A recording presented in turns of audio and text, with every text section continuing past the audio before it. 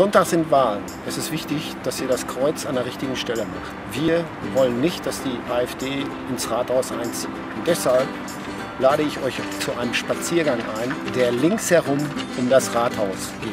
Ich wünsche mir viele Schwerter, die vorbeikommen, ein Seil mitbringen, 1,50 Meter lang.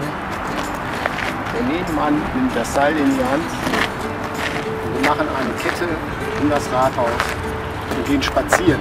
Wir vom Bündnis Schwerte gegen Rechts unterstützen es natürlich, wenn Schwerter Kulturschaffende wie Jörg Rost Aktionen gegen die AfD und gegen Rechts ins Leben rufen. Ihr findet uns am Samstagvormittag in der Innenstadt. Wir werden Aufklärungsflyer über die AfD verteilen und danach auch gesammelt hier rübergehen und Jörgs Aktion unterstützen.